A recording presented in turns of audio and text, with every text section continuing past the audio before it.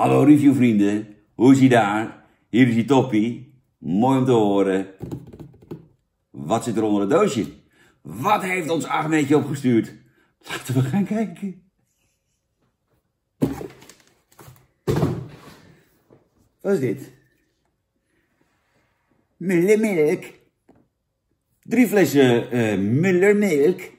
Uh, nog nooit van gehoord. Mullermelk. Uh, ja, wat zou ik zeggen? Het is melk met de smaakie. Met de aardbeismaakie. Ja, halfvolle melk. Karnemelk zit er ook nog bij. Heel veel suiker. Een rode biet voor het kleurtje. En 0,04% aardbeienconcentraat. Nou, dat is lekker veel. Wat is dit dan? Mullenmilk. Pistache. Kokos. Pistache kokosmelk. Krijg er niet heel veel trek van. Melk, karnemelk, suiker. Oh, hier is 0,07% pistachepuree en 0,03 gedroogd kokosextract. Er zit niet heel veel smaak in, denk ik zo. Mullenmelk Special. Ha, en daar hou ik van, van speciaaltjes. Choco caramel cookie flavor. In melk. Melk, karnemelk. 2,5% chocoladepoeder en 0,1% karamel. Nou, dat is dus uh, enorm veel als je bedenkt dat in de uh, aardbeien 0,04% aardbeiensap zit.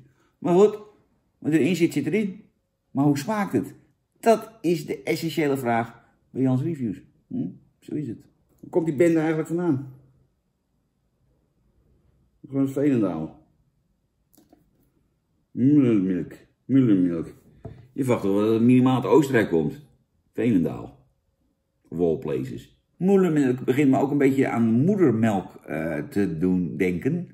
En uh, ik, dat, uh, dat, is niet, dat is niet helemaal mijn, mijn koekenkakkie. Ik heb volgens mij ook helemaal geen moedermelk gekregen. Voor mij heel met een fles. Vandaar dat ik zo dorstig ben. Mullenmelk, aardbei. ja, dat moet rood zijn, want ze hebben er namelijk rode biet in gemieterd. Voor een kleurtje. Nou, dan komt die. Uh, ja, roze. Ik kan de geur niet helemaal...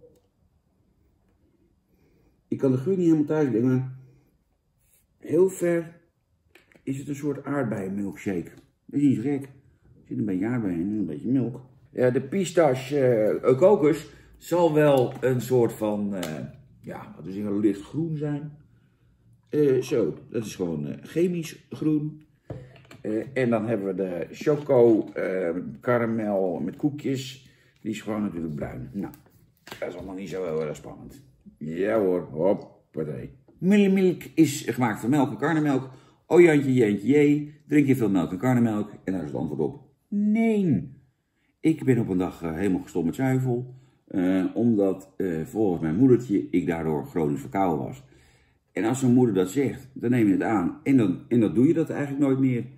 Uh, of het waar is geweest, uh, mag Jozef weten. Uh, maar ik heb nooit meer echt melk gedronken, in karnemelk.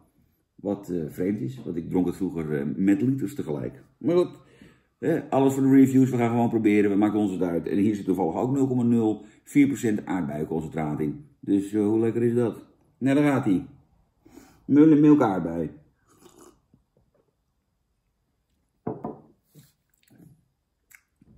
Het is inderdaad gewoon uh, heel erg melkig. Het is gewoon melk. Het is gewoon een glas melk. En, en ze hebben in die melk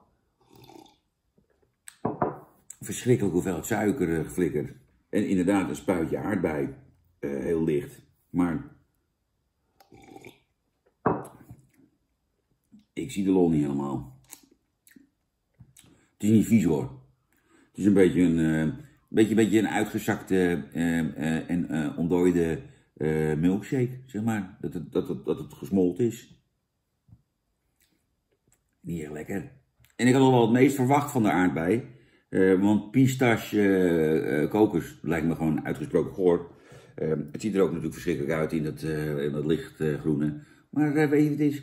Ik heb ook wel eens geroepen dat iets er vies uitziet. En toen smaakt het wel lekker. Hm?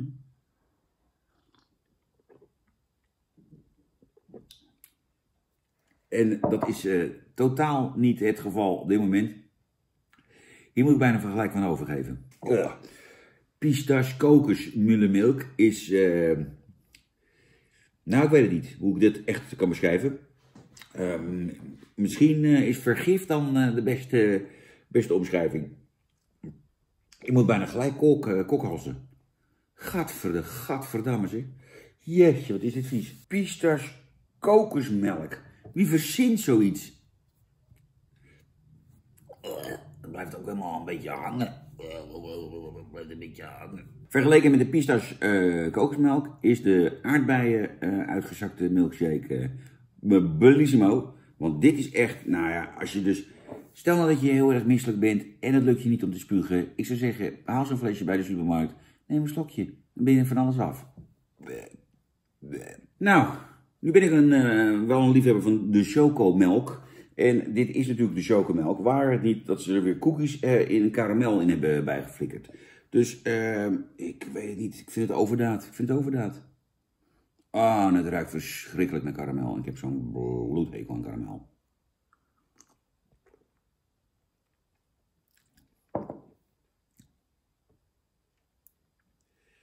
Getverdemme.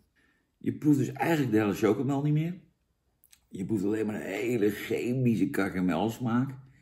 Maar ja, dat was nog niet genoeg. Toen dacht je, ja, moet er ook cookie in. Want dat vinden ze leuk tegenwoordig, de mensen. Cookie. Toen hebben ze er nog een spuitje cookiesmaak in gedaan.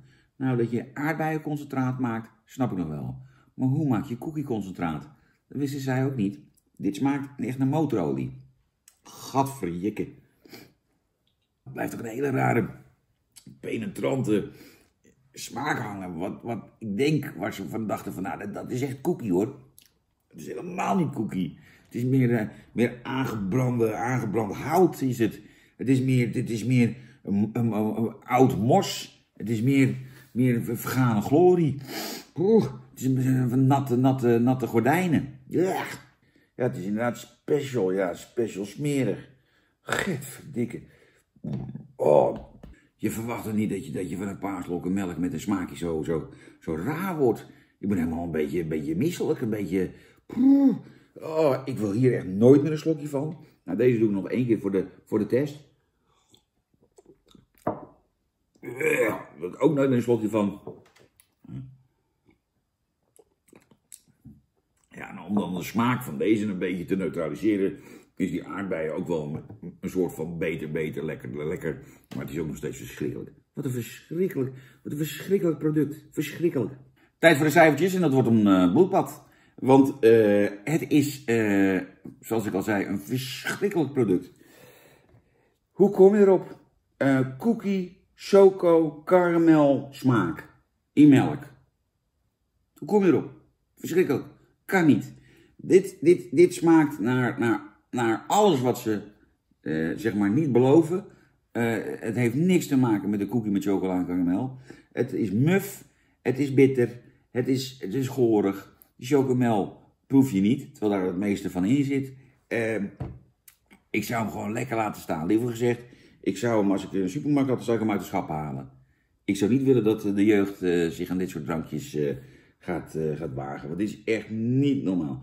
Als je als ouder dit met je kind meegeeft naar school, moet je zo over nadenken. Of je eigenlijk wel kinderen hebt gewild al die tijd. Deze, die krijgt van mij een 2. Die is een wanproduct. De middenmelk, pistache, coconut uh, is uh, heel erg uh, wat erop ruimt. Ja, dit was een combinatie. Dat, dat had niet gemaakt moeten worden. Dit is echt dat, dat iemand zegt van ja, laten we iets leuks doen. Je moet een kleurtje. Oh, dan doe je de pistache en wordt het groen. Oh, leuk, oh, leuk, oh, leuk. Hadden we gewoon kokos met melk gehouden. het is gewoon niet lekker. Je wordt hier terstond misselijk van. ook niet doen. Dat is ook verschrikkelijk. Deze krijgt een 4. De Millenmelk, uh, wat ik trouwens ik gewoon normaal uitspreken, want het komt uit Veenendaal. Mullenmelk uh, aardbei is het minst vies. Dat is eigenlijk alles wat ik zeg. Maar als jij uh, aardbeienmelk wil maken en je pleurt er 0,04 aardbei in, uh, 0,04% aardbei in moet ik zeggen. Ja, dan smaakt het niet heel erg naar aardbei. Nou dat klopt, dat doet het ook niet.